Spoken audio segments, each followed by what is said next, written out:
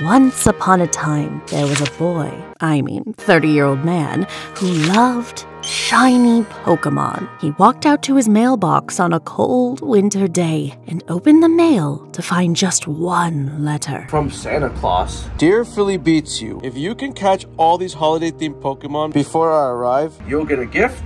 But here's the problem. I did not know when Santa is going to arrive, so I better start on this list right away. I ran inside my house to my gaming setup and went for the first hunt on the list. The iconic Delibird. This made perfect sense since it carried around a Santa bag and has a move called Present. For this hunt, I'd have to make my way to Paldea's highest peak. The trick to getting a bunch of these Delibirds to show up is to make a shiny flying sandwich. As soon as I made it, tons of them started to spawn. Look at them just running around with gifts. They honestly feel like Santa's little helpers. Now, spotting the shiny won't be too hard because the color is purple. So I did a couple of picnic resets, which despawns the hordes of this Pokemon, and then when you put it away, it spawns in with a bunch of new ones, which should make this hunt pretty easy, right? Okay, well, maybe this wasn't as easy as I thought. It actually should have showed up by now. So to increase my shiny luck, I had to figure something out. And then I took a train to New York City and looked around the Hudson Yard Mall, which was decorated with tons of Christmas lights. I then spotted the mall Santa Claus and sat next to him and asked him to give me a shiny Delibird. And I don't know if I pushed my luck with him, but I also asked if I could have more subscribers. And here's what Santa Claus actually had to say. Subscribe to his YouTube channel. Billy,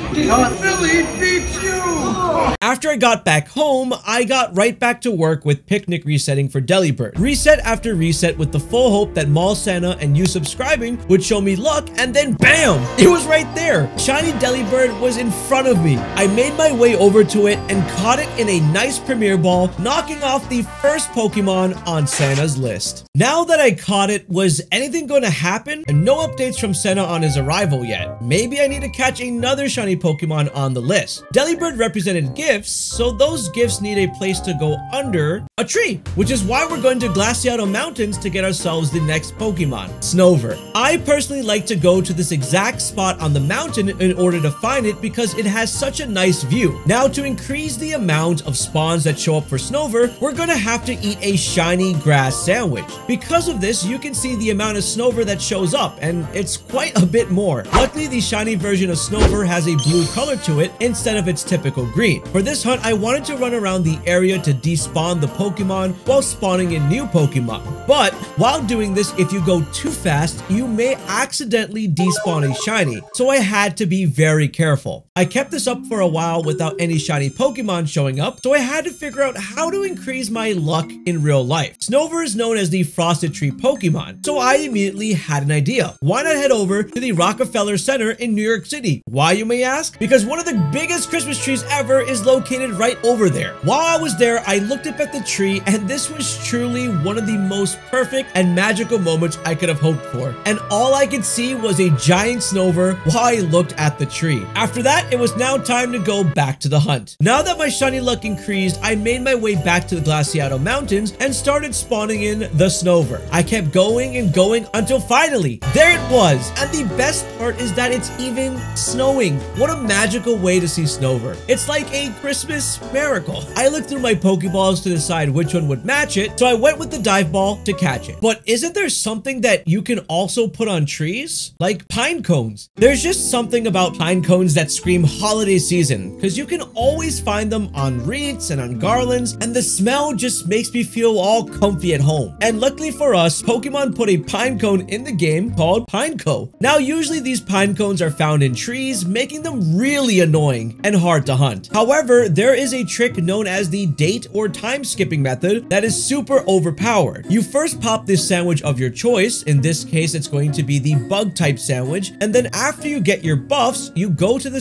settings on your Nintendo Switch and you can skip a date or go up a minute, whatever you really want to do, it's up to you, it's your game, and you'll notice the mass outbreaks on your map just magically change. I pretty much did this until I got a Pineco mass outbreak in the East Province Area 3 to show up. Isn't this so much better than hitting a tree over and over again until a shiny appears? I think so. Now, as you can see, we have so many in front of us. Luckily for us, we are looking for the golden pine cone. Now, for mass outbreaks, to maximize your shiny chances, you have to to knock out 60 Pokemon and then start to do a picnic reset. So I began knocking out some Pineco and while knocking them out, I was thinking about how to maximize the IRL shiny luck to get one. Hi, babe, are you shopping right now? Yeah? I have a few items I need you to pick up for me.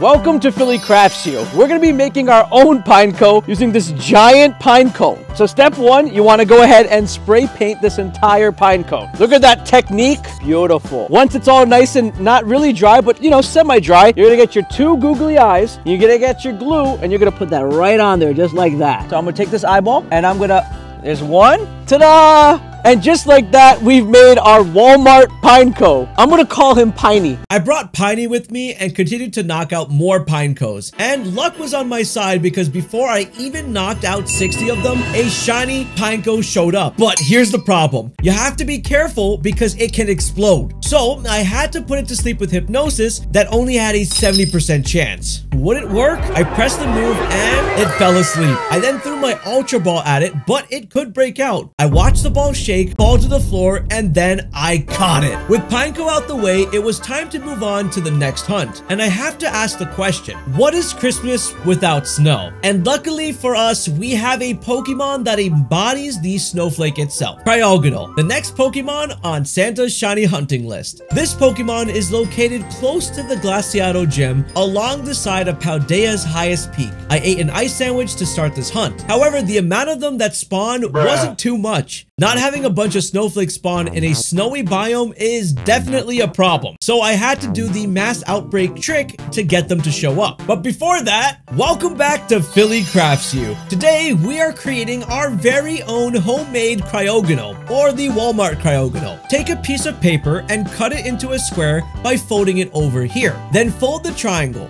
Then fold it again for another triangle. And then just fold it again into another triangle. Then what you want to do is get your scissors and just start chopping on the sides of it for whatever design you want to make. Open it up and bam, you have your own snowflake. Then slap some googly eyes on it and you got yourself a Walmart cryogonal. I'm actually going to call him Ed. This is Ed the cryogonal. Comment snowflake emojis down below to show Ed some love. Seriously, he needs love. After creating my good luck charm, it was now time to hit the mass outbreak. Now, while we're knocking out Pokemon in this mass outbreak, let me tell you how to identify the correct shiny snowflake. You have to look for the one with orange eyes, and the blue snowflake color is going to be much more saturated like this. And after knocking out a couple of them, it finally happened. The unique snowflake, just like Ed, showed up. I ran over to it and caught it in a dive ball. And with that, another Pokemon was checked off Santa's list. But how long exactly was it going to be till Santa arrived? Was he coming by reindeer? Maybe that's why the next shiny hunt on Santa's list was Stantler. Now, this location to hunt this is between two sort of biomes with the main part of Paldea, the starting area, and the canyon area. So right in between there. For this hunt, I'm going to be using a normal sandwich.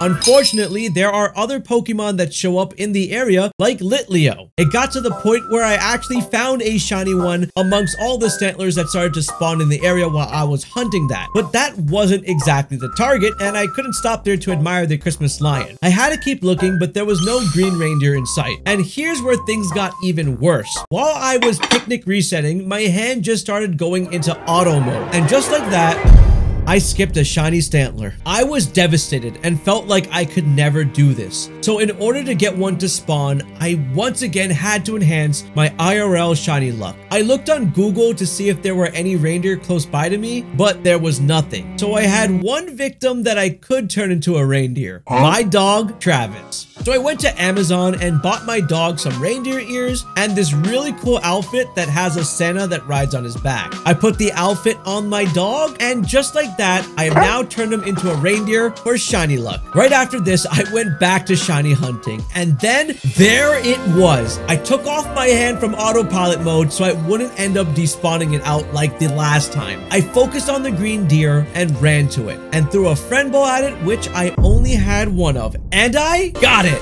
And with that, the shiny reindeer hunt was over. But I remember that when I hung out with the mall Santa that he was shaking some bells on him. So this next hunt made so much sense. Chingling. Now, in order to find Chingling, you have to head over to Kitakami in the Teal Mask DLC. I ate a psychic sandwich and went over to the Crystal Pool and Inferno Pass area to look for them. However, there were stupid spoink that kept showing up, making it hard to actually hunt down my target. So I did the mass outbreak method to get them to spawn and I began looking for them by knocking them out. Now the shiny for this one is rough because it's slightly different in the ribbon around it. So you really gotta look carefully to avoid making errors when you are hunting this down. So to not even make an error like my last hunt, I went into my attic and immediately enhanced my shiny luck by grabbing some bells that I found up there. As soon as I got them, I immediately headed back down to my office and went and put them on my tree to enhance the good luck. By the way, let me know how you would make your own homemade chingling in the comments down below. Back to hunting. I kept knocking out every single chingling until I reached the max amount of 60 and then started to do my picnic resets.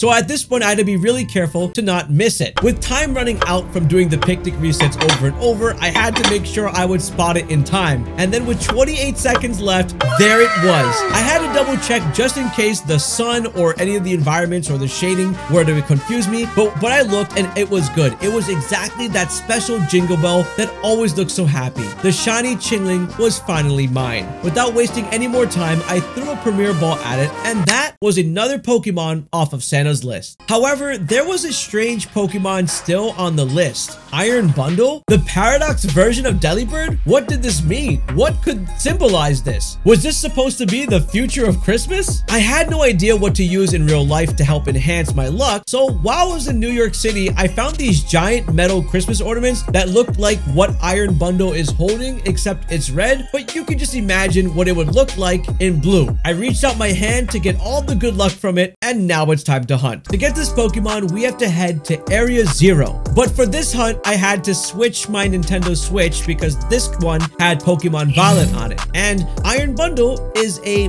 Pokemon Violet exclusive only. Now, to get to this Pokemon, we have to head to the lowest floor in Area Zero, which is Research Station number 4. But before you go in there, you have to make sure that you eat an ice sandwich outside of Area Zero because you can't make any picnics inside of here. And it'll be the only Pokemon that'll spawn here. I personally like flying over right from the fourth research station down this way until you land on this crystal, which faces this other crystal. And when you approach it, a bunch of Iron Bundle start to show up. Literally, as I walk up to it, you see how they all spawn in? And then you can run back and they all despawn again. There are a lot of spawns here. And look at this. There's a bunch of them that are falling off on the right side. Hopefully, the shiny doesn't spawn here and fall to its death because that would be very unlucky. And I've already been unlucky in this video. So I kept walking back and forth on that location over and over again. New spawns after new spawns kept showing up while the other iron bundles kept falling down. This was all that was left on Santa's list and I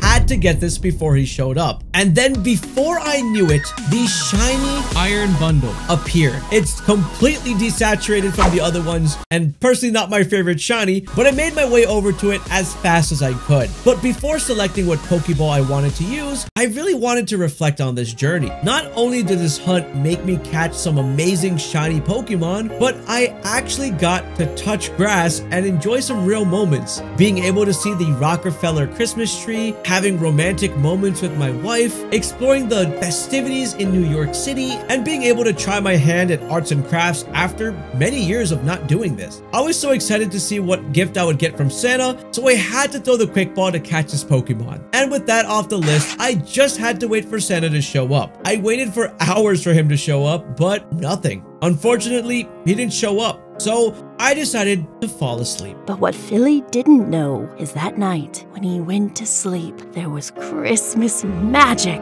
in the air.